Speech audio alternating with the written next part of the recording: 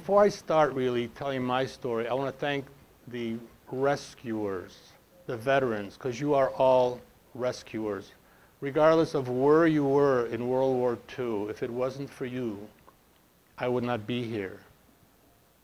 Maybe there would be no Jews if it wasn't for you. Just to give you a few asides before I tell you my story. Uh, in 1939, I was born in 1938, but in 1939, um, there were 18 million Jews in the world, one eight million. Hitler saw to it that six million perished. And those who perished were between 1942, when the death camps and the concentration camps were built. It took little less than three and a half years to kill six million Jews. Would anyone like to venture a guess how many Jews there are in the world today? Raise your hand, guess, shout it out. 16. How many? 16.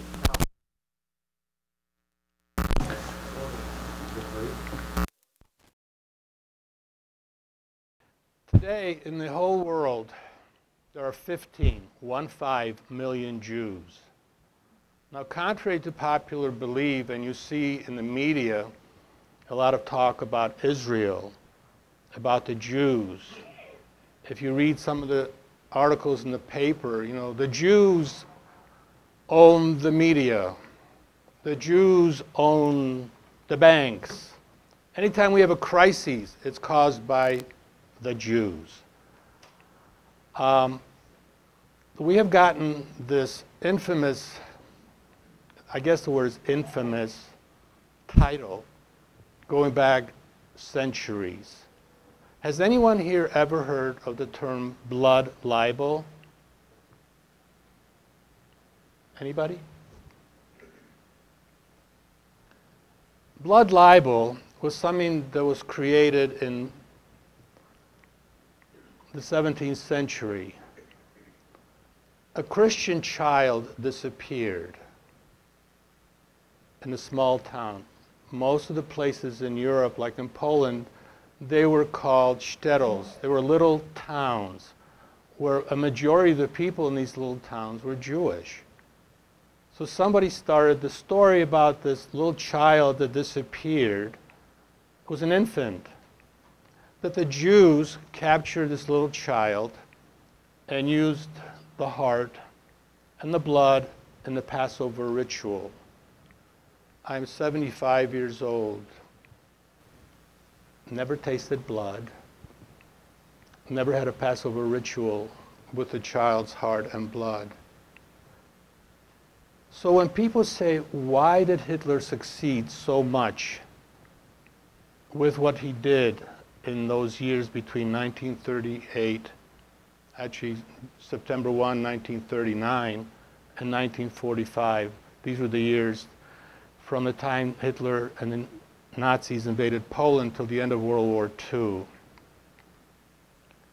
If you think about going to church and you hear the story of blood libel weekly, and you are all peasants living in rural Poland, you start to believe it.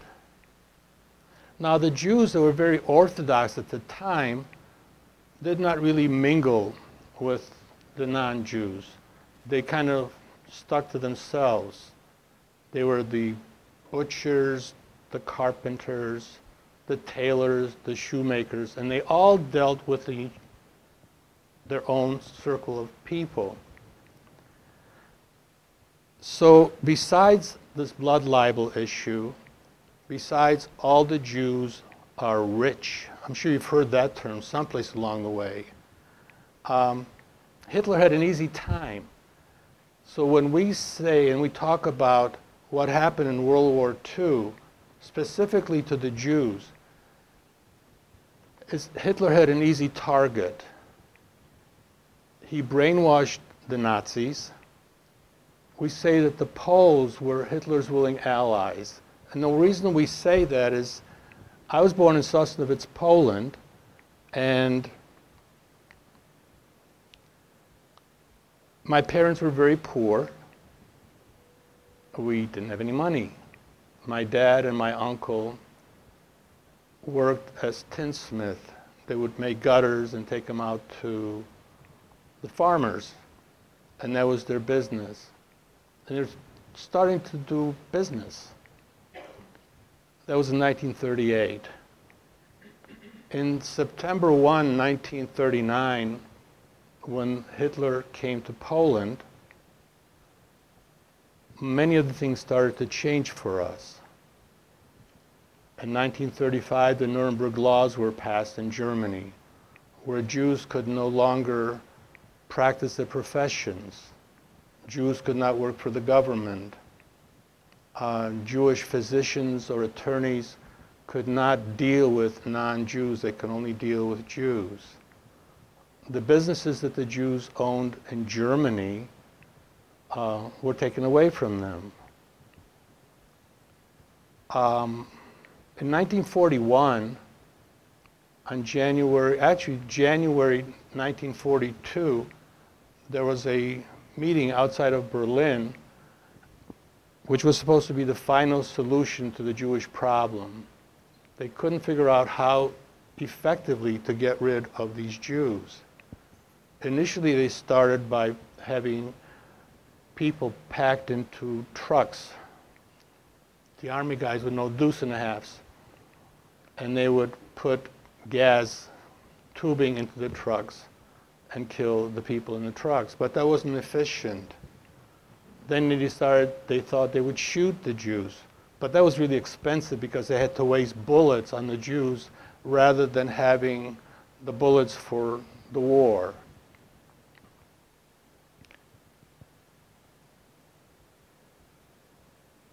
I was about three years old, living in Sosnovitz with my mom and my dad. And in 1942, the Germans decided to move all of the Jews out of Sosnovitz and put them in a camp called Środula. Środula was a ghetto and was a staging area where from Środula they would take the Jews and ship them off to Auschwitz. Um, in 1942, there were 12,000 Jews deported to Auschwitz from Sosnovitz. When I was five years old in August of 1943, all the inhabitants of Sosnovitz and Środula were gone, except for 1,000 people. And they were supposed to be shipped off as well. And we were sent to, excuse me, to a work camp.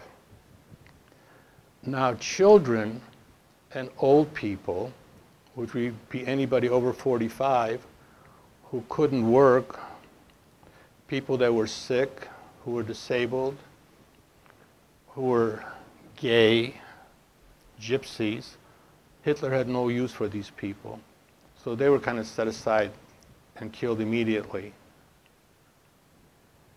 While we were in the work camp, and by the way, children were the first to suffer.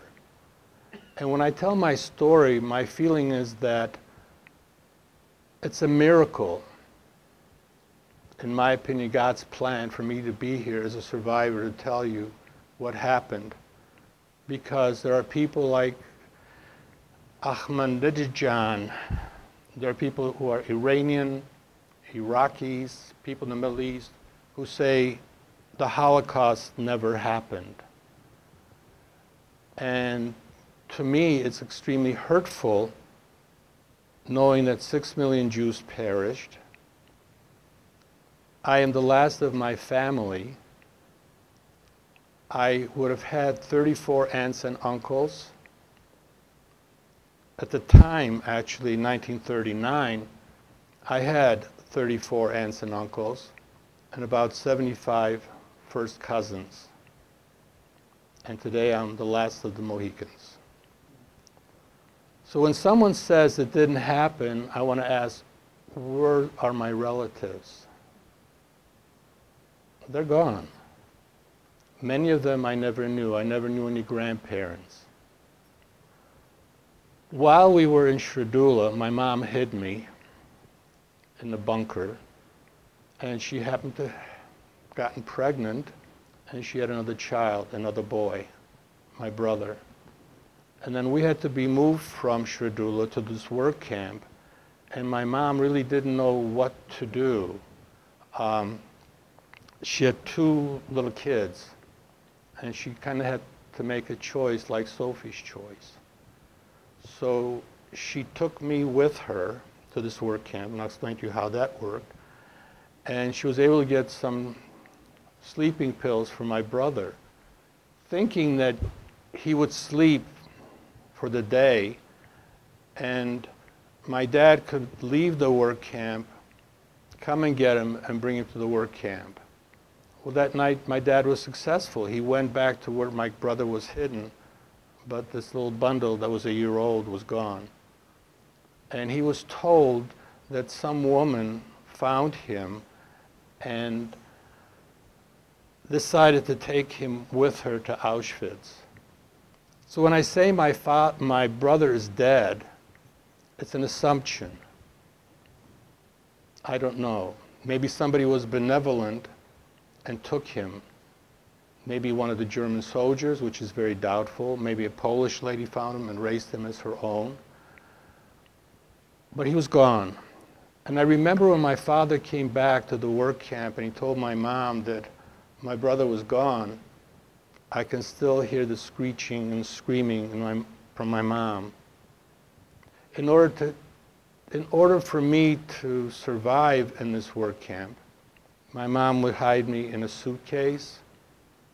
She would hide me under boots because this work camp made knapsacks and boots for the Nazis. And my mom told me a story that she remembers one time I told her that while I was under the boots, I saw this shiny thing going by my face. And she said, No, you didn't. I said, Ma, I did. I did. Well, the shiny thing that I saw going by my face was a bayonet because the Germans would come in and put their bayonets into the boots or among the boots and look if there are any Jews hidden. So for me to survive there is truly a miracle when I was born, my mom was very young, and there was a woman by the name of Maria Balagova. She was Catholic, and she took a liking to me. She loved me from the time I was an infant. So if my mom ever had any issues or any problems, she would go to Maria, and Maria would take care of me. My mom befriended a German soldier while we were in the work camp, and he took me out of the camp in a suitcase to Maria Balagova's. I don't know if you ever heard the term righteous. Has anybody ever heard the term righteous Gentile? You want to tell them what it is? Yeah.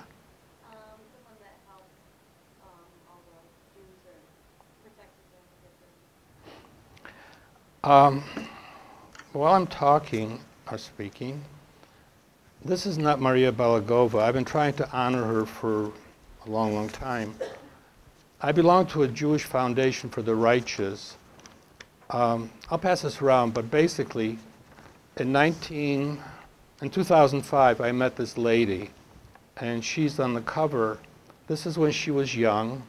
This is what she looks like now. So I'll just pass this around. Take a look and pass it down, please. Um, Maria took me in in 1943, and for all intents and purposes, are there any Polish people here? She was my babka. Um, and that's how I referred to her from the time I was one, two. I have been teaching the Holocaust at our temple for the last 30 years. And I asked the students, if you had an opportunity to save a Jew, but you know that if the Nazis found this Jew in your home, you and your parents would be either shipped to a concentration camp or shot on the spot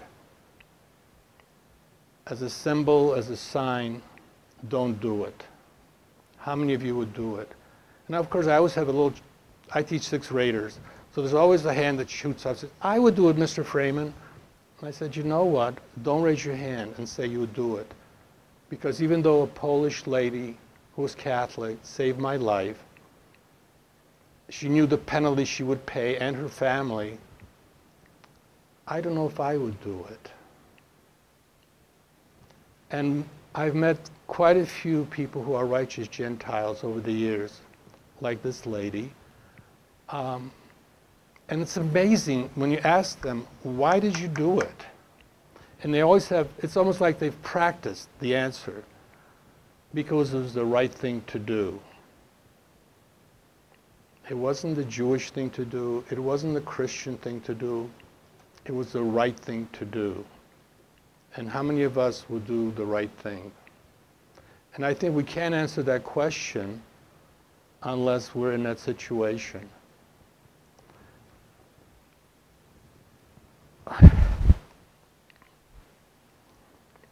Let me go back to Środula for a second. You know, people say, well, how do you remember that? You were four or five years old. I think when there's a traumatic thing that happens to you, as a child, if you break a, a hand, a finger, a foot, have a bad cut, it's something you never forget. You'll always remember it. So the things that I remember is, in, I mentioned to you about being hidden in this bunker. I remember the German shepherds, the dogs, barking, loading the Jews into boxcars. I remember the Germans screaming, mach schnell, mach schnell means go fast, go fast. I remember one time there was a lady sitting on a barrel, gray haired old lady. I would probably say she might have been in her 45 or 50. But to me, when I'm five years old, she was an old lady. A Nazi walked up to her, took out his Luger, put it to her head, and shot her. For no reason at all. She was just sitting there minding her own business, other than she was an old Jew.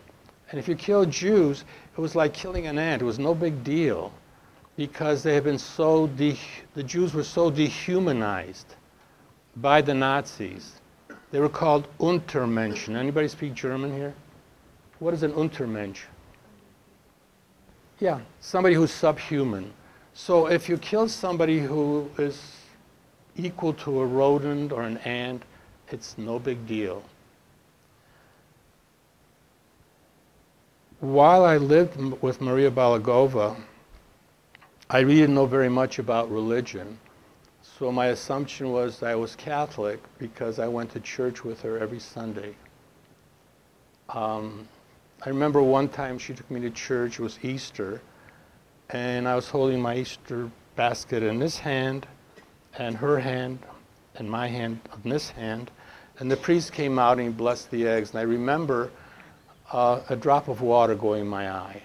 How do you remember this? It's just something I remember. As a matter of fact, when I went back to Poland, I've been back three times. Um, the first time I went because I wanted to see if I could find my brother's birth certificate. I went back to Sosnovitz where I was born. My birth certificate, which I was able to obtain, um, is basically a one pager. It has my name, Abraham Freiman. It has my mom's name, my dad's name, and my date of birth, 31638. My brother's birth certificate is a three pager because he was born already under Nazi occupation. It's all in German. And his birth certificate not, not only gives his name, his mother, his father, his grandparents, the profession of the parents, the witnesses that were there, it was just incredible. I never really knew my grandparents' names until I had my brother's birth certificate. My parents would never want to discuss the Holocaust. They thought I'd be too traumatized. And I said to my dad and to my mom, how can I be more traumatized than what I've already seen? And I think trying to shield me, my dad, my dad just wouldn't talk about it. And my mom would kind of say, Yeah, I remember you saw this. I said, Ma, I saw the boxcars being loaded. I saw this woman shot. Um,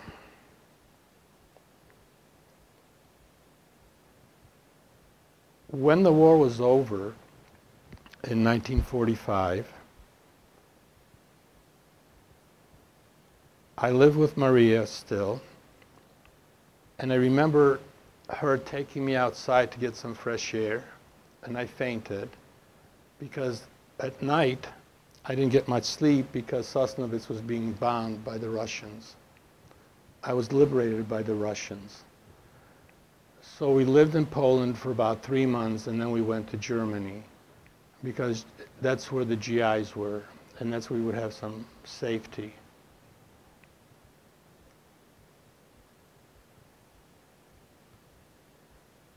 We lived in Germany from 1946 to 1949, and in September of 1949, we came to this country.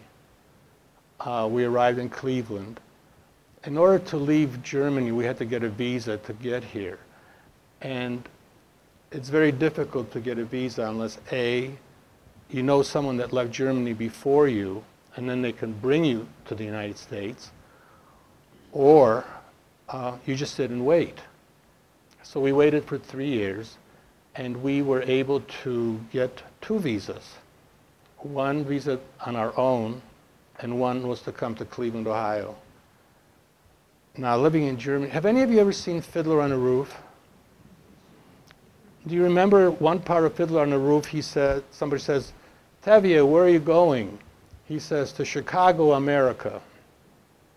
Well, when someone told us we're going to Newark, America, it was no different than going to Cleveland, America. But obviously, we chose to come to Cleveland because at least we knew somebody here. So we arrived here in 1949. I um, didn't speak English, so at 11 and a half, I was put in the second grade. And kids made fun of me, which wasn't very pleasant because I wasn't stupid, I just didn't speak the language.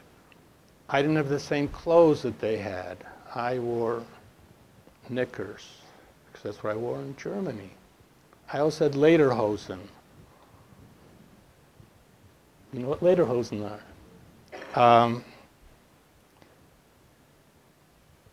there's one little aside which I think you're going to get a kick out of. While I was in Germany and my parents wanted me to learn English, and I was a total failure, utter failure.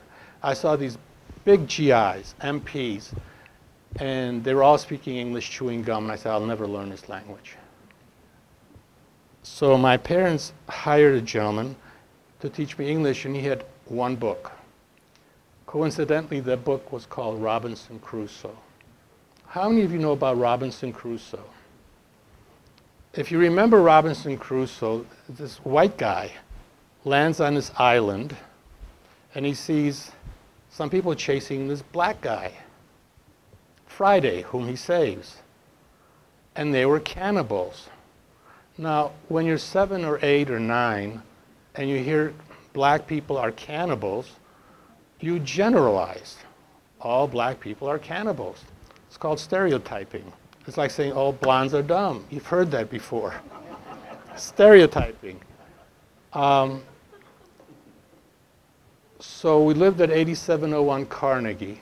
I don't know if you're familiar with the area. It's now a parking lot for the Cleveland Clinic. And there was a elementary school across the street, and a lady took me there, and I walked in, and I think I was the only Caucasian child there. And I saw all these African American little children, and I started to scream out loud. And I said, They're going to eat me. I'm not going to stay here. So that was one of those little traumatic things. So I didn't go to that school. And it's kind of hard when you don't know and you're ignorant. And a lot of things that I talk about, and one of the reasons I like to teach sixth graders, just as an aside, I spend a lot of time talking about bullying. Now, bullying doesn't go on in schools anymore, right? So, one of the things that I do, if I may, I read some things to these children, and I tell them, first of all, who can tell me what apathy is? Just raise your hand. Apathy? Ladies, what is apathy? Go for it. Yes, sir. Not interested or not interested or No, no, no, no, no. Apathy is if I see let's, some big guy. There's a big guy back there, tall, strong, and he finds this little person here, that little kid over there, and he beats him up. And I kind of stand back and say, oh, what a shame. That's called apathy. You don't give a damn. Excuse me. It's the way it is. Apathy is like also being indifferent. So I read several of these essays or quotes to the kids. And I say, one is like, to sin by silence when they should protect or protest makes cowards of men. And that was said by Abraham Lincoln. So I read the ones where they would know the names. So they know about Abraham Lincoln. The no one I read to them is about Albert Einstein, and everybody here knows Albert Einstein. He said the world is too dangerous to live in, not because of the people who do evil, but because of the people who sit and let it happen. And the last one, and this is a very famous one, was written by a Reverend Martin Niemöller. In Germany, the Nazis came for the communists, and I didn't speak up because I wasn't a communist.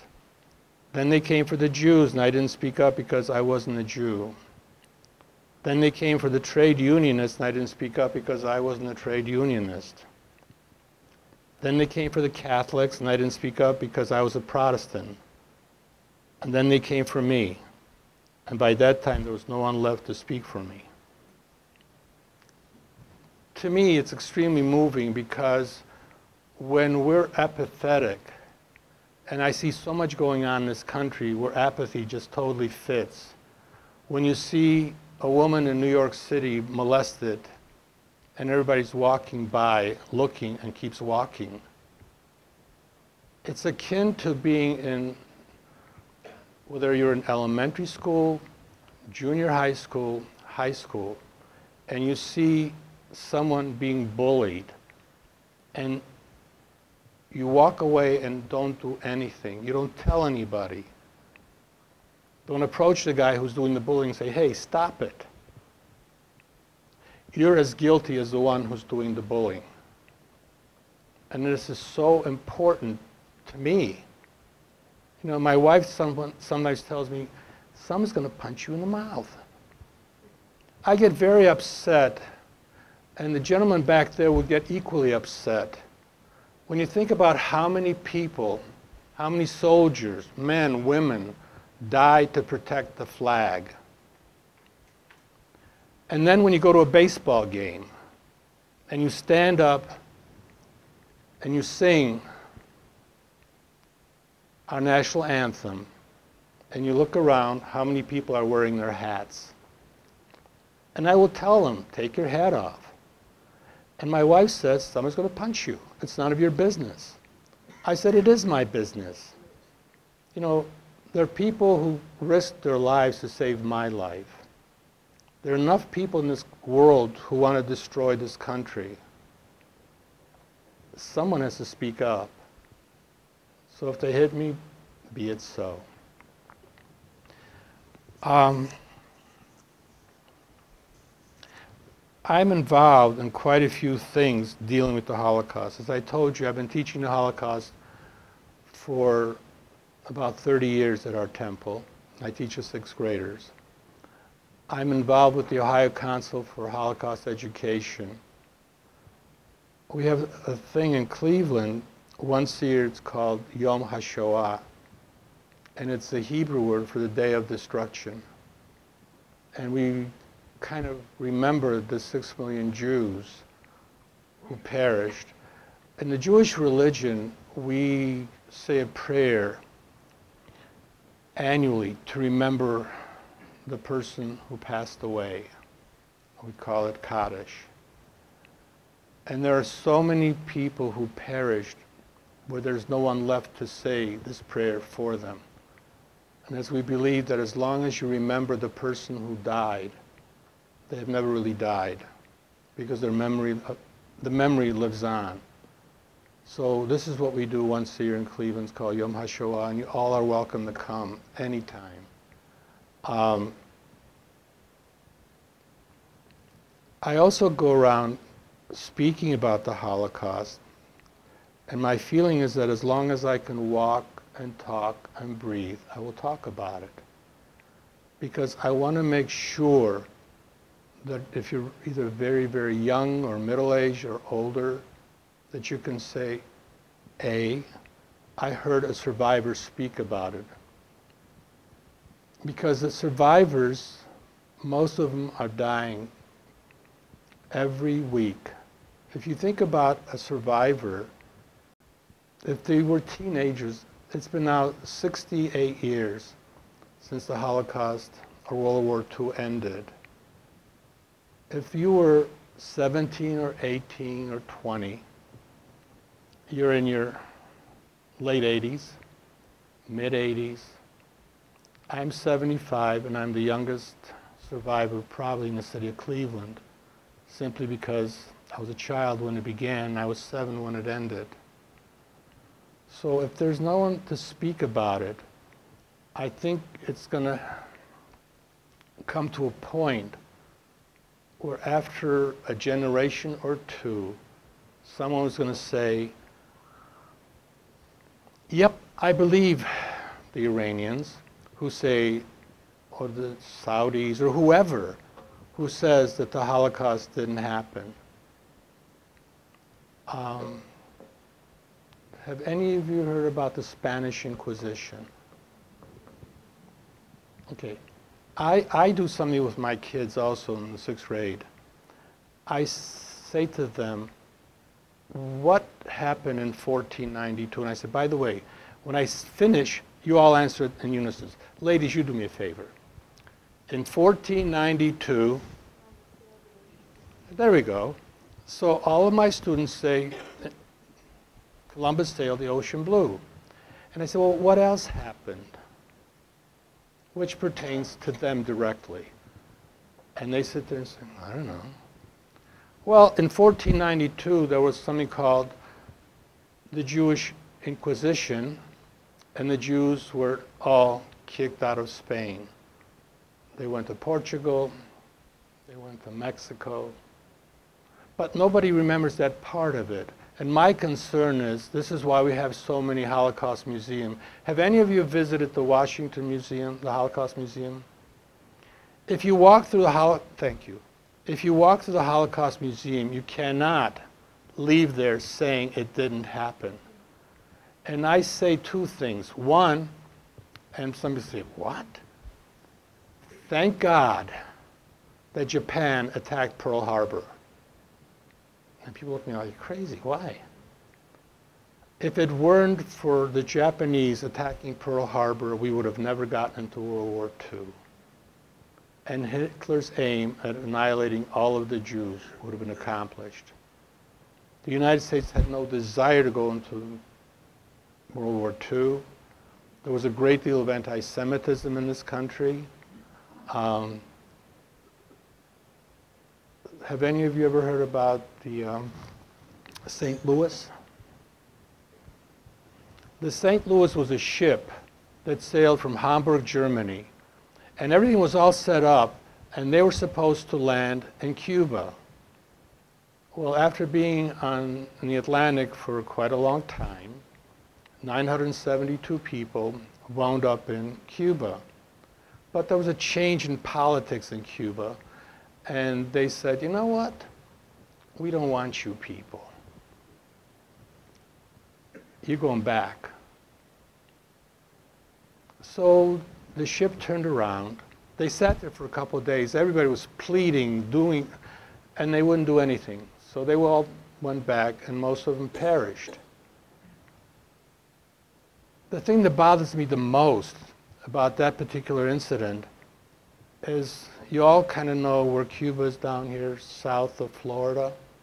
And as the ship was going up the coast, heading into the Atlantic, they went by places like, give me you're tired, you're sick, you're poor. But nobody wanted these people. So as I said, they went back. Um, another very hurtful thing, and please forgive me, I'm, what I'm telling you is the truth. When President Roosevelt had a chance to save several hundred thousand Jews, people in the United States begged him, Jewish people, a survivor from Germany who cut his wrists in front of him tried to explain to him what was going on, the massacre of the Jews. And he said, all I want you to do is, as the planes are flying over Auschwitz, bomb the railroad tracks. That's not to say that the Germans would not have rebuilt them. They would have. But it would have been a couple more months delay in the number of Jews that were sent to the gas chambers. The response was this was against the mission of the war. The mission of the war was to beat Germany. But of all of the bombers that went over that camp, one bomber could have gone and dropped a few bombs on the tracks. The irony of all of this is um, what are the white horses called? Pal. No, no, no. Palm. What? Leper. Yeah. They're Leperzano horses. They're very famous horses. When the GIs heard that the Nazis were planning on killing the, lep- the what? Leperzano horses, guess what they did? They detoured and saved the horses. Tells you in the grand scheme of things where the Jews were. Beyond the horses, below the horses. Uh, there's a movie that you, you could probably get at the library or maybe you could find it. It's called One Flight for Us. And the story of the movie is in 19, excuse me, in 2002, the Israeli Air Force was invited to bring their jets to Poland to show the pride of what they've accomplished in a short period of time since 1948 when they became a state.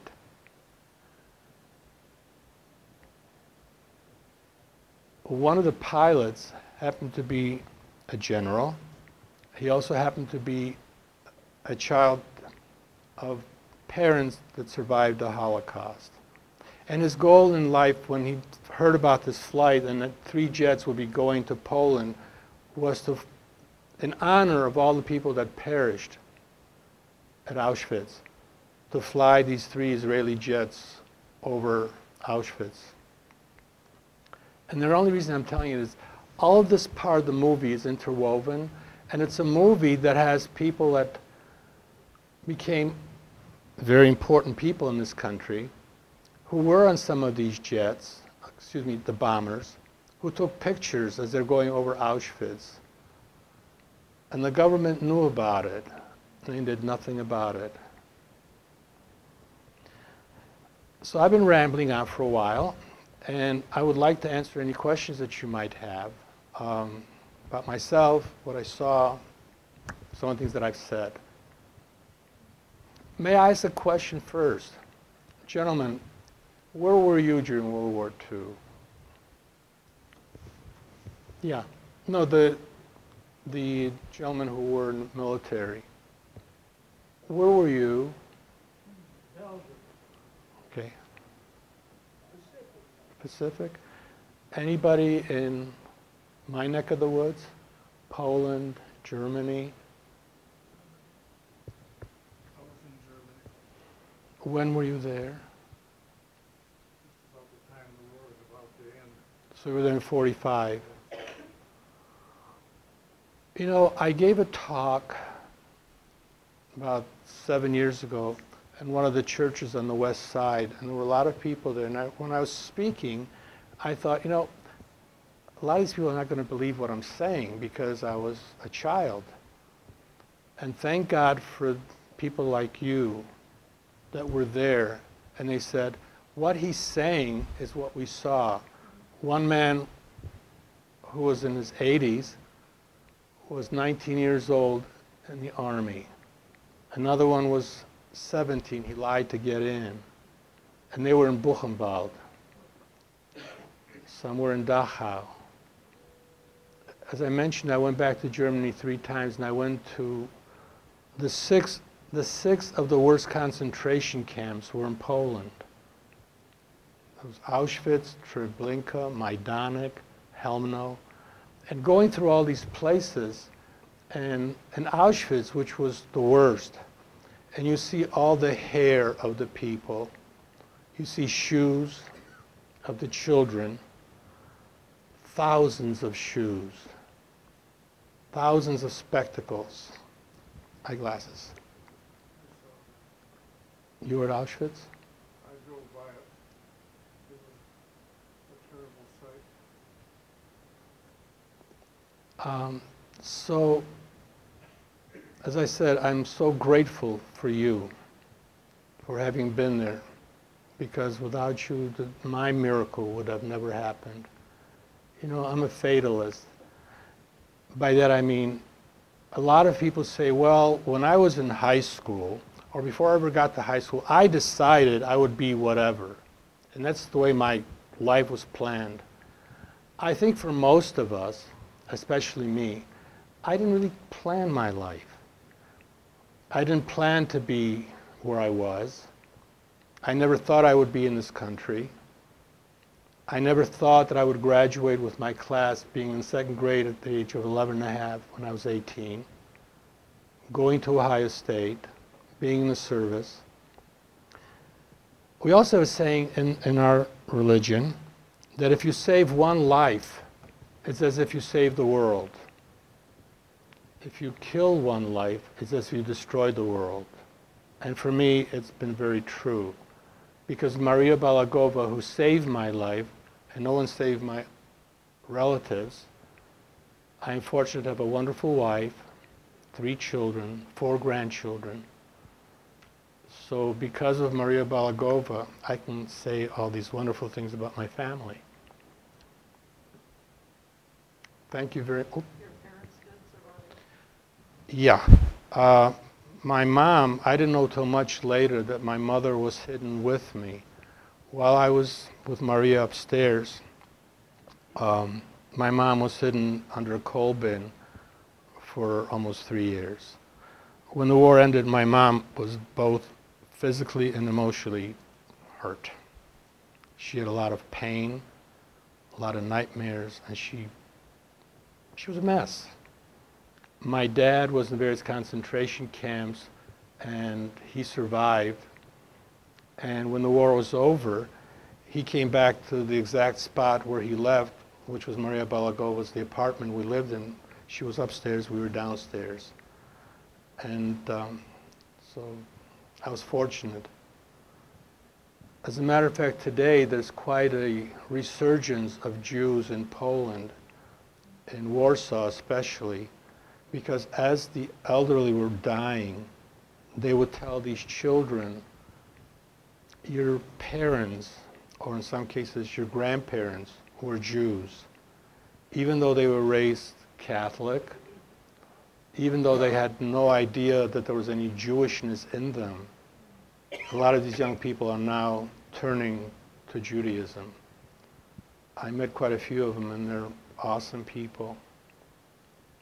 So as I said, um, I started out by saying being the fatalist, we kind of go through life and things happen. And that's why I feel things happen, and I'm fortunate, fortunate enough to be here and talk to you about it. Yes, sir. The book, comes several books, Schindler's- Schindler's List, List. is that a true story? Yes. As a matter of fact, Schindler is buried in Israel, in Jerusalem. And if you go to Jerusalem, you can visit his grave. Now, some of it was embellished. He didn't initially start off by wanting to save Jews. That was like, came after. Initially, he wanted to make money. And then something happened, and he said, you know what? While I'm making all this money, I can bribe all these high-ranking generals open the fabrique that he had, and um, he needed people to work for him. So he decided that he would save 1,000 Jews. There are a lot of people who were like Schindler, but he got most of the fame, if you will. There were people who saved Jews from Japan. Um, you know, when you when you paint someone with a brush, like again, when you stereotype or you generalize and you say all whomever, it's wrong. But I, it took me a long time to learn that, and you know, I, I don't want to conclude, but one of the things I want to say is I hated, like you cannot imagine, hatred when the war was over. Um, I hated for losing my brother. I hated for losing my cousins. Um, and I said to a rabbi who I knew, and I said, How could God let this happen? And I do believe in God. And he said, Roman, God didn't create this. People created it. Yes, ma'am.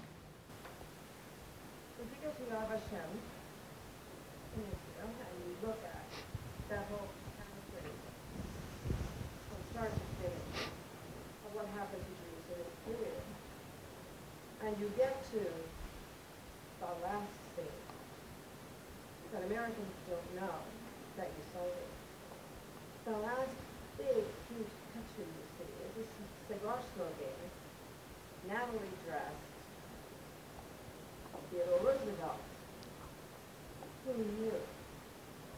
And nothing is said, but the story is built to that picture. You're paying attention, aside from the horror of the pictures that you see, you get to that point. Who knew? And he did. This is why I'm very touched. Thank you for saying that. Sometimes I think when I talk about President Roosevelt, people are offended because I see movies when he died, all these streets, and there was only not only non-Jews, but Jews in New York crying because President Roosevelt died. Maybe, maybe somewhat in his defense, and I don't want to get into politics, but pr- President Obama is, Obama is blamed for so many things. Um, I have some issues with that. My issue is, and I promise I'll stop. My issue with that is, yes, he is, according to the media, an African American. Ladies and gentlemen, his mother was white. So why can't he be white with a black father instead of being black and no mention of his white mother? The reason I mention, and again, not being political, not saying he's right, wrong, or indifferent, I'm not even going there. All I'm saying is what you said. If you say something about Roosevelt, you're going to offend all of these people who thought he was God's answer to the United States of America. He did a lot. He did a lot. We didn't know this thing. And that's what's so powerful.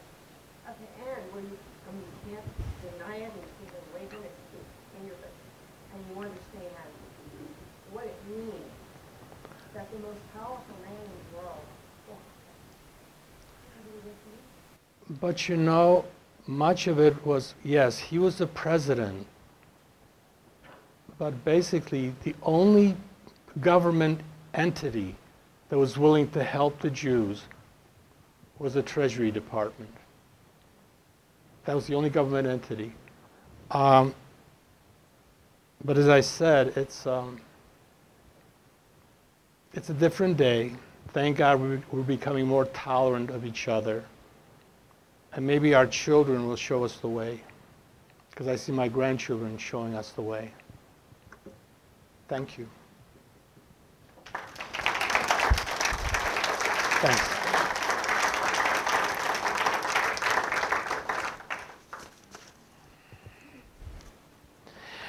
Oh, oh look, a cup. My cup runneth over. Thank you, A small thank you. thank you from us. Can I just, in conclusion, Please, yes. I think the library has this. If any of you have ever seen, young people could read this. It's called Maus, M-A-U-S, and the gentleman Art Spiegelman did this all in cartoon form. And if you, if anyone ever does read this and bothers to look through it, kind of story of my life is in there because Art Spiegelman's father was born in Sosnovitz. He went to Środula. He, he went to Auschwitz. Um, sometimes when I talk about blood libel, I think people, are, people might think that I'm making this up, but in this book, it's called Hitler's War Against the Jews. There's a picture, um, and basically says the front page of a special, the Stürmer, which was a Nazi mag- newspaper, headlines reads, Ritual Murder, the anti-Semite drawing was made by an artist of the Middle Ages to show how Jews were support, supposed to have killed Christian children. The line at the bottom of the page in German says, Die Juden sind unser Unglück. The Jews are our misfortune. So this blood libel didn't begin with Hitler, it began several centuries before him. And the last book that I want to mention, and the library doesn't have this, it's called The Atlas of the Holocaust. And basically, if you have any relatives who are born in Europe, whether it's a small shtetl in Poland or wherever, it's, it's an amazing book because Dr. Martin Gilbert spent eight years going through Poland, Germany, Hungary, Romania, finding all the little places where Jews lived. So, anyway, thank you again. I really appreciate it. Thank you for letting me be here. Thank you.